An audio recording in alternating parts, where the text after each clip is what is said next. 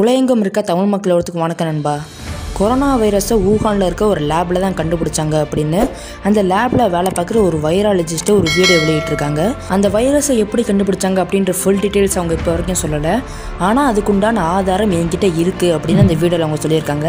அந்த தகவலை பற்றி இன்றைக்கி நம்ம வீடியோவில் பார்க்க போகிறோம் அதுக்கு முன்னாடி நண்பர்களே நம்ம சேனலை சப்ஸ்கிரைப் பண்ணலைன்னா மறக்காமல் சப்ஸ்கிரைப் பண்ணிடுங்க பக்கத்தில் இருக்க பெல் ஐக்கனை ப்ரெஸ் பண்ணிடுங்க ரெண்டாயிரத்தி பத்தொம்போது லேட் டிசம்பரில் சைனாவில் இருக்க ஊகான் இடத்துல தான் இந்த கொரோனா வைரஸ் கண்டுபிடிக்கப்பட்டுச்சு அப்படின்றது நம்ம எல்லாருக்குமே தெரிஞ்ச ஒரு விஷயம்தான். இந்த வைரஸ் முத முதல்ல கண்டுபிடிக்கப்பட்டப்ப நமக்கு இதை பற்றின பாதிப்பு சுத்தமாக தெரியாமல் இருந்திருக்கும். ஆனால் இப்போ இந்த கொரோனா வைரஸ் பல பேரோட உயிரை பறிச்சிருக்கு.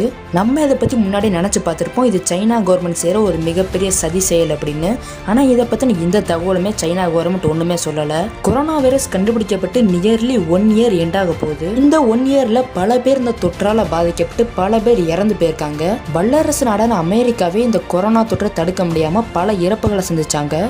ஆனால் சைனா கவர்மெண்ட் ஈஸியாக இந்த கொரோனாவை ஹேண்டில் பண்ணது எப்படி? இது வரைக்கும் சைனாவில் எண்பத்தஞ்சாயிரத்தி நூற்றி எண்பத்தி நாலு பேர் கொரோனா வைரஸால் பாதிக்கப்பட்டு எண்பதாயிரத்தி முந்நூற்றி தொண்ணூத்தொம்பது பேர் ரிகவர் ஆகி வந்திருக்காங்க.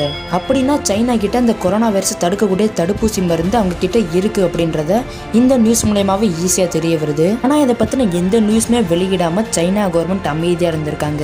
ஆனால் இப்போ ஊகனில் இருக்க ஒரு லேபில் வேலை செய்கிற லீமின் யான் அப்படின்னு சொல்லப்படுற ஒரு வைராலஜிஸ்ட் கொரோனா வைரஸ்ன்னு சொல்லப்படுற இந்த வைரஸை ஊகானில் இருக்க ஒரு லேபில் தான் கண்டுபிடிச்சாங்க அப்படின்னு அந்த வைராலஜிஸ்ட் சொல்லியிருக்காங்க. அதுக்கான தகுந்த ஆதாரங்களே என்கிட்ட இருக்கு அப்படின்னு அந்த வைராலஜிஸ்ட் சொல்லியிருக்காங்க. இத்தனை உயிர்கள் பறி போனதுக்கு அப்புறமும் இந்த தகவலை சொல்லி ஒரு பிரயோஜனமும் இல்லை. இந்த தகவல் மாதிரி கொரோனா வைரஸோட தடுப்பூசி மருந்து சைனால இருக்கு அப்படின்னு யாராச்சும் தகவல் சொல்லுவாங்க அப்படின்னு உலக மக்கள் எல்லாருமே ரொம்பவே வெயிட் பண்ணிக்கிட்டு இருக்காங்க. இத்தனை உயிர்கள் பறி போனதுக்கு அப்புறம் லேட்டர் ஒரு வருஷம் கழிச்சு தான் இந்த வீடியோவை ஏன் வெளியிடுறாங்க அப்படின்றதான் எனக்குள்ள கேள்வி. இந்த தகவலை இந்த வைராலஜிஸ்ட் முன்னாடியே சொல்லியிருந்தா அந்த உலகம் இவ்வளோ பெரிய தொற்றுக்கு ஆளாகி சரி ஓகே நண்பா அந்த வைராலஜிஸ்ட் பேசுனதை வச்சு நீங்கள் என்னமாச்சும் சொல்லணும்னு நினச்சிங்கன்னா கீழே உள்ள கமெண்ட் செக்ஷனில் மறக்காமல் சொல்லுங்கள் நான் கண்டிப்பாக வாசித்து பார்க்குறேன் இந்த வீடியோ உங்களுக்கு பிடிச்சிருந்துச்சுன்னா லைக் பண்ணுங்கள் ஷேர் பண்ணுங்கள் நம்ம சேனலுக்கு சப்ஸ்கிரைப் பண்ண மறந்துடாதீங்க நண்பர்களே.